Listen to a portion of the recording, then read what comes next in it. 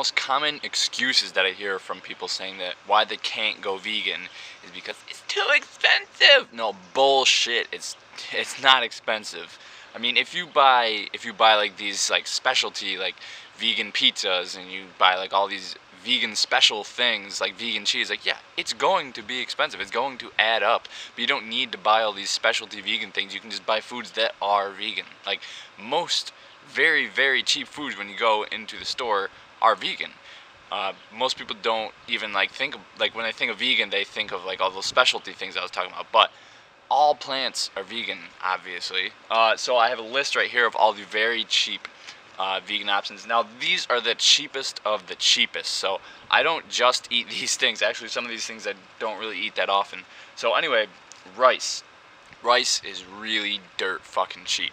Rice is literally probably cheaper than dirt. Actually, like if you went to Home Depot and bought some dirt, it would probably be more expensive if you bought that amount of rice. Um, I probably cook rice like twice a week when I'm at school, at least. And I, well, when I say twice a week, they're like giant portions, so it can feed me for like two days. Um, and I also throw like other things in, like mixed vegetables, beans, and stuff like that. Another thing is dried beans. Uh, dried beans are going to be a lot cheaper than canned beans, although I pretty much just eat canned beans because they're um, they're a lot more convenient and they're a lot quicker. Um, they cost a little bit more, but it doesn't really break the bank. So beans, either way, is just going to be really cheap. But if you really want to save money, go dried beans. Pasta. Pasta is also really, really, really, really cheap. It's 89 cents for a pound of pasta. Most people will not even eat a pound of pasta. And that's only 89 cents. Most people eat like a half a pound of pasta. So I, uh, what is that, like 40, 44 and a half cents plus some sauce. So you might be looking at a buck for a meal if you pour on a lot of sauce. That's another thing. Like if you buy uh, sauce, like like from Aldi's, there's two dollars, two dollars for normal spaghetti sauce, or three dollars for organic. Ooh. Um, so that's really cheap. Bread is also really cheap. We have just been plowing through ciabatta bread recently at our house. We've just we go through a lot of trends, and right now we are just plowing through ciabatta bread. So bread is normally really cheap. Popcorn is also dirt cheap. It's probably the cheapest thing on here. And actually that's how movie theaters make the bulk of their money. Most movie theaters don't even make a whole lot of money from ticket sales. Most of them make like most of their money from the concession stand when they're selling popcorn because they have to, you know, pay for the rights to show the movies and then uh, paying for you paying for the ticket doesn't really add up to all that much. But when you buy all the popcorn, like say you get the huge thing for like seven bucks with free refills, it costs them like mere cents to give that to you. And even if you get a refill, it's probably not even costing them a buck, and you just paid seven dollars for that. That's like a couple like hundred, if not thousand percent increase in profit.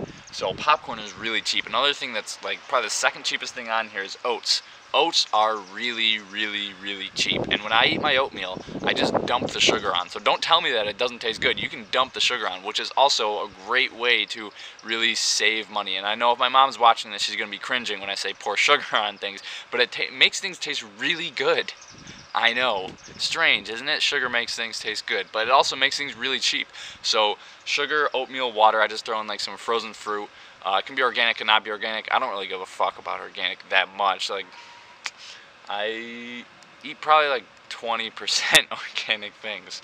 Um, so a lot of people think that when you go vegan, like you have to buy organic everything, and that you um, have to shop at a like a specialty food store or something like that. But I go to Wegmans and Aldi's and the farmers market. That's where I get like all my stuff. So you can go to all three of those places. Well, maybe you can't go to Wegmans because there's not a whole lot of them. But anyway, they're they're pretty normal grocery stores. That's where I get all my food. Uh, another thing is potatoes russet potatoes especially, they are dirt cheap.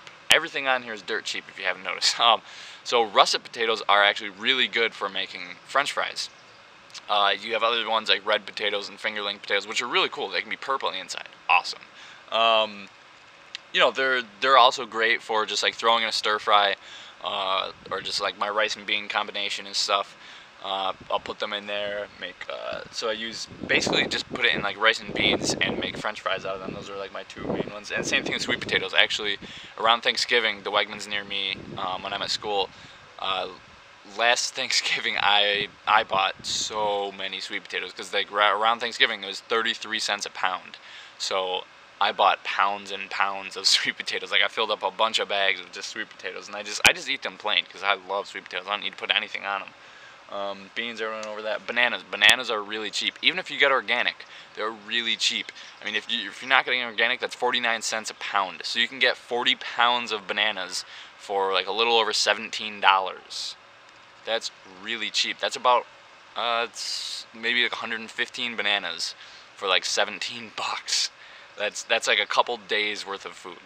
Um, uh, carrots, whether you're going organic or not, very very cheap. Whether you get the baby carrots or like the normal size carrots, they're just really cheap. Onions are also very cheap as well, and cabbage. Now those last three are not very calorically dense things, so if you want to just like throw them in like a stir fry or something, I mean, I'm not really a huge cabbage fan, but if it's in something, I'll eat it. Uh, onions, eh. Carrots, I like carrots. I like juicing carrots. That's probably my favorite way to have carrots. But yeah, these are the cheapest of the cheapest as far as vegan goes. Uh, I mean, that's obviously not all I eat because that would be a very boring life. A life without guacamole and hummus and salsa is just no life at all. Especially hot sauce, Frank's Red Hot. Oh, yeah. A life without those things is just a terrible life to live. So those things plus you know add in whatever else you like condiments and spices and it'll be very good tasting very cheap way to eat vegan Música